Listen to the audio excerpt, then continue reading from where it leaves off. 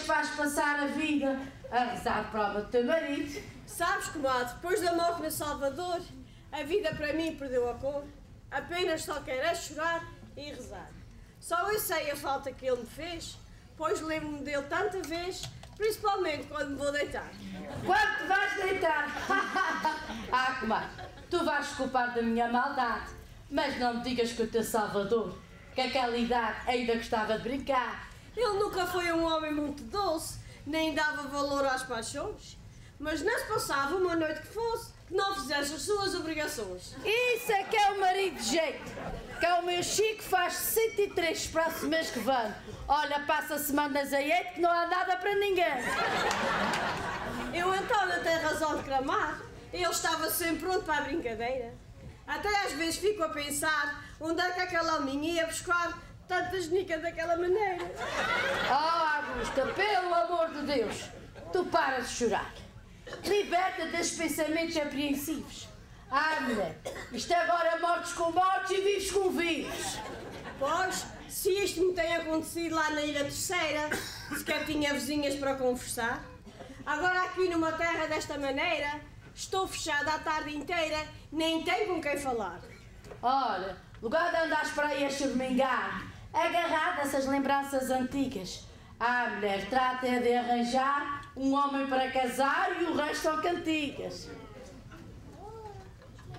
Esta Camila está mas é variada a cabeça.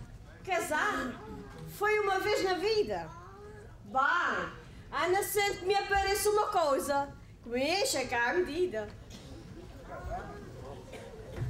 Camila, Ana, tu mandaste-me chamar. O que é que se está a pensar que às vezes deixa-me enervada? Olha, Ermelinda, tu tens que me ajudar.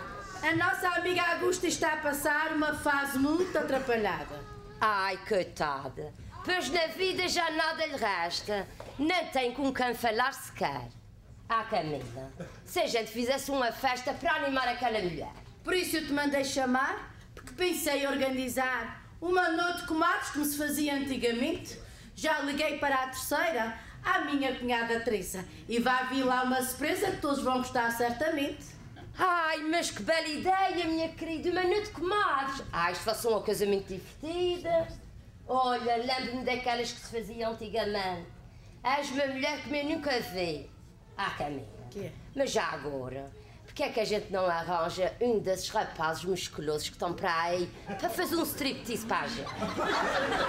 Ah, mulher, tu não vês que temos que os pés para a cova? Tu doido certamente que essa coisa striptease, isso é para gente nova, não para burras velhas como a gente. Disseste tu não saber. Camila, eu sei que temos idade avançada. E tu disse, sabes certamente. Mas quem quer ver burras velhas desassogadas a pôr um burrinho novo à nossa frente?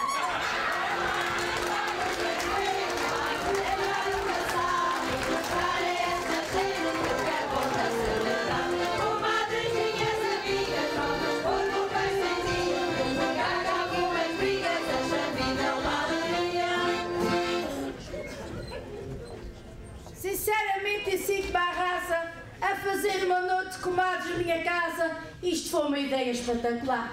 Mas vou limpar isso como deve de ser, porque elas são capazes de dizer que eu tenho a casa para arrematar. A Augusta sabe fazer o seu papel. Não é mulher falar de ninguém, mas essa coisa de São Miguel tem cá uma língua que dá pressão. Mas elas vão ficar babadas de certeza. Especialmente a Augusta Silveira.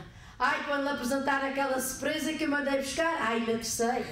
Ah, Camila, dá licença. Faz favor. Camila, minha grande amiga, nem sei como te agradecer. A ideia que tu tiveste de fazer uma noite como as à moda antiga. Não tens nada que agradecer, foi de fundo de coração. Ai, tu tens uma casa com sol a ver e limpa que se pode limpar o chão. Oh, mulher, deixa-te de ideias loucas. A minha casa não tem nada de riqueza. Mulheres limpas como tu, há bem poucas, disso podes ter a certeza. Oh, eu sempre fui assim a vida inteira. Nunca gostei de uma casa encardida.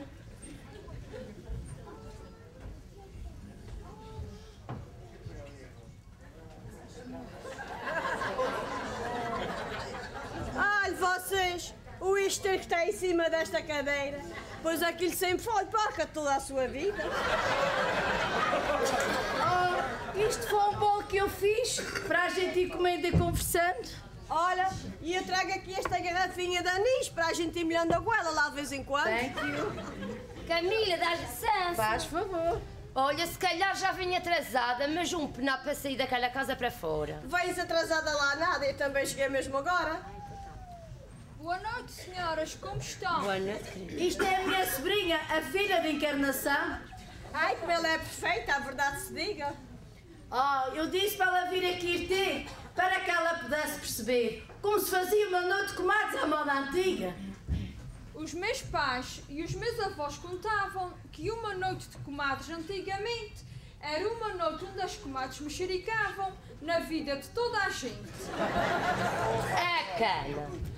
Das vezes que a gente se juntamos, graças a Deus nunca, mas nunca falamos nas vidas de ninguém. Pois não, a gente apenas conversava, contava anedotas, ria e cantava. Ai, como aqueles serões sabiam bem. Com a vez vamos em frente, vamos lembrar o passado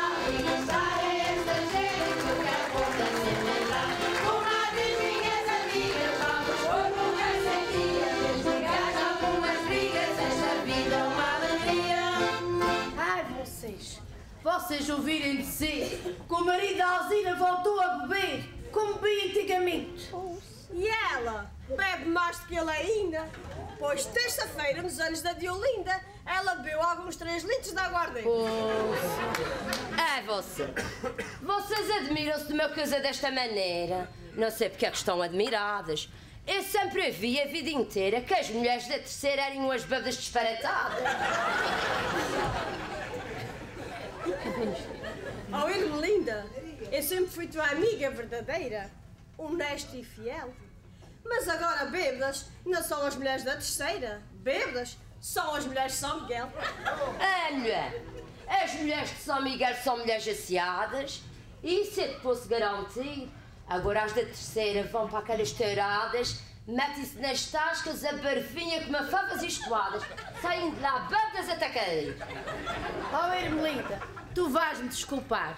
Esta conversa tem que ter fim, porque eu não admito que continues a falar mal das mulheres da terceira assim. Esta Irmelinda já me está a aborrecer, pois quem não se conhece é uma infeliz. Olha, as verdades são para se dizer. E vocês, deixem-me se caber mais um carzinho das ternis. E a gente é que somos bêbadas. E tu, Isabel, tá não tens nada para dizer. É pequena, deita coisas cá para fora. Se uma noite de comadres é isto que estou a ver, estou a modos de ir embora. De facto, tornou-se uma conversa meio mesquinha. Mas isto, Agora pá, sabe? É bom? de facto, tornou-se uma conversa meio mesquinha. Mas isto não passa de uma simples discussão. Oh, vocês, vamos cantar uma modinha para animar o nosso serão? Ah, senhor, punha aí o gira disco a tocar.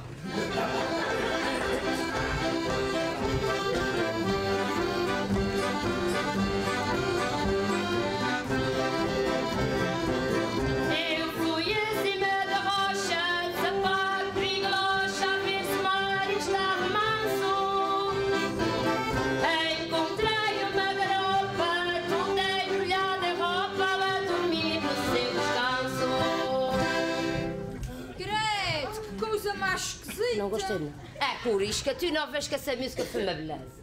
A música até é bonita, a letra é que parece letra japonesa. Ah, Camila, tem lá fora alguém a chamar. Ai, quem será desta vez?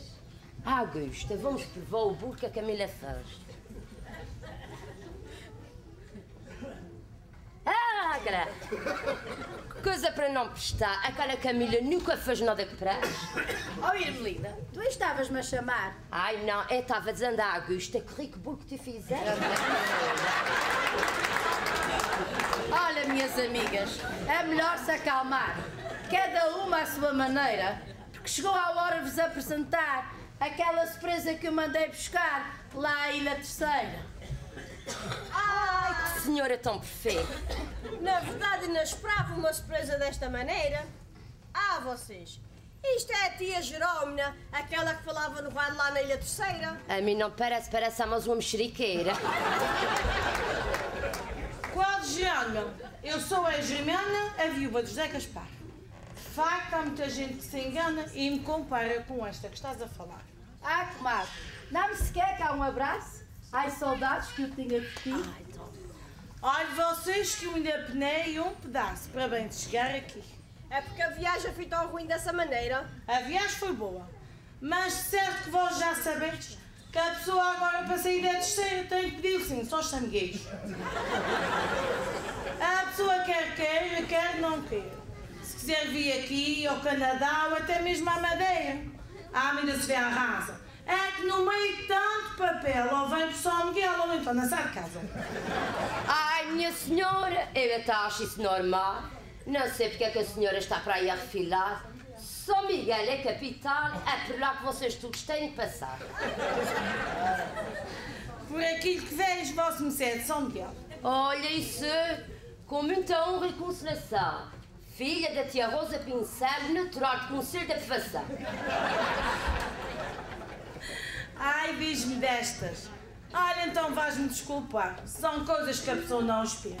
De facto, havia qualquer coisa aqui a enjoar. E eu é que não sabia o que era. Uma vamos entrar, vamos entrar no passado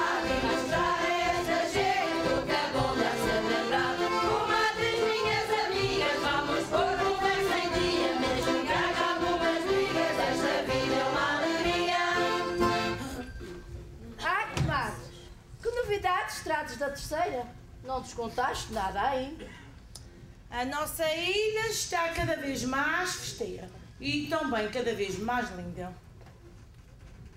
Ó, irmão, não és agora? E, e cá dá-me a vontade de rir. O que diz quem costuma lá ir? Que a ilha de São Miguel é que é uma ilha asseada. És tu. Oi, Melinda, ouve se queres ouvir. Se não queres ouvir, fica calada. Eu já tenho na agradeço lá de volta para a cadeira. Sabe se não tinha vindo para este serão? A terceira é a Rainha dos Açores. É uma ilha cheia de história e de valores. E bem digna do seu brasão. Tem um povo hospitaleiro que canta o ano inteiro, o que lhe vai no coração. Quem vai à terceira ver uma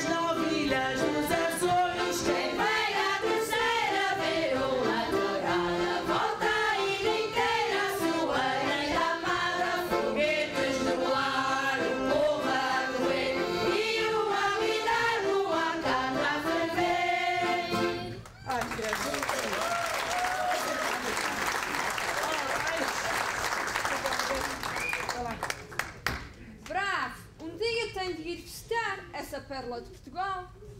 Isso é para não te falar do nosso lindo carnaval. É vocês. O carnaval na terceira é muito pobre. Aquilo é uma compaixão. Ainda há aquela mulher tola que vão a noite inteira ver danças com os anãos. Olha lá, enquanto a gente anda na terceira a dançar e o povo a divertir-se em comum, vocês andam nas ruas São Miguel a atirar sacos de água para cada um. Oh, Augusta! Temos a televisão açoriana. Olha que se não fosse São Miguel, tu não vias televisão. Ah, e a gente temos a base americana que faz inveja ao povo de terrão.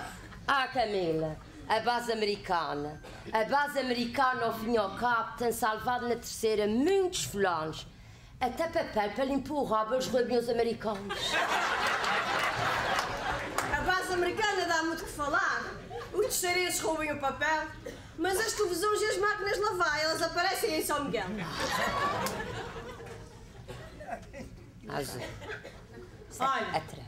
cala-te. E temos as São Joaninas, que é uma festa de gala, com suas marchas, cortejos e corridas de praça. E então as festas da praia nem se fala. Igual não há quem as façam. Olha, a terceira é das ilhas principais. E então em festas é das mais ricas. Ai, Camila, anda aqui. Tão bom que a terceira tem de mais a mexericas e maricas.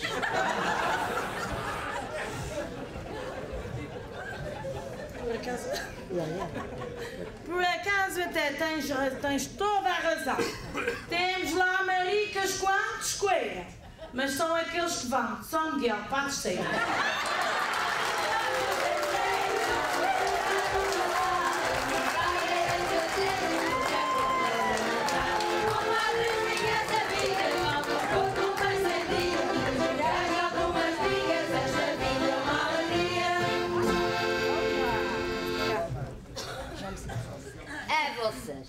Se vocês pensarem bem, só me galam a preciosidade.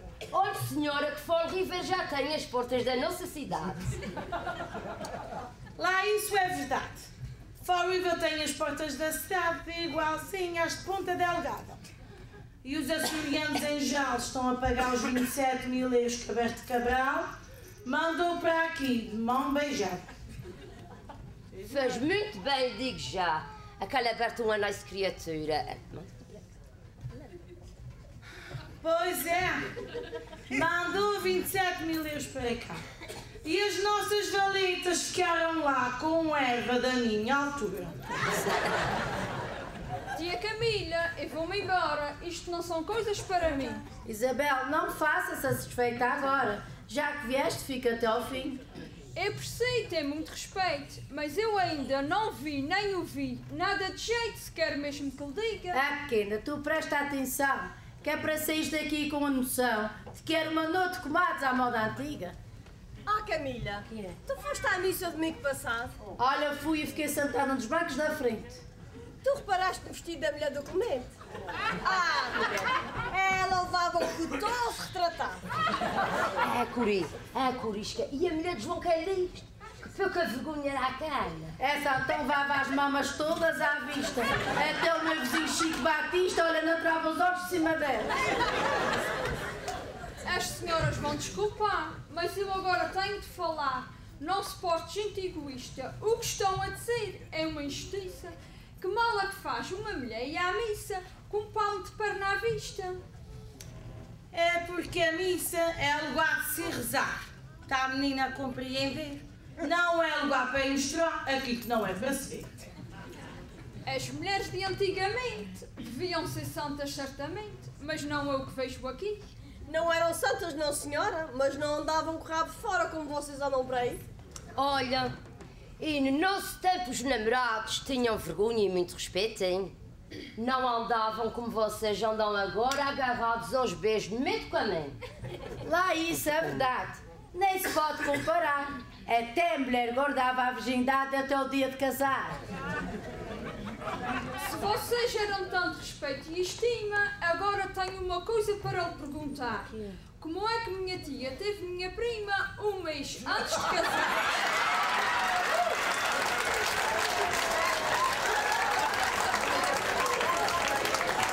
Bem, bem, quer dizer, eu tive a tua prima um mês antes de casar.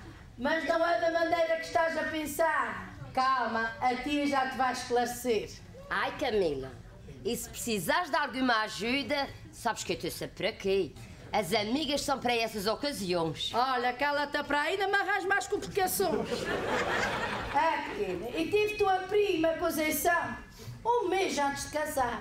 Ai, mas foi por causa de uma constipação que eu apanhei quando eu estava no portal. Estava a conversar um dia que tu tinha ao portal. Tua tia tem toda a razão. Naquele tempo apanhava-se muita constipação. Era um tempo de fome e de sede. Umas apanhavam contra o portão. E as outras, no meio da aflição, era mesmo contra a parede.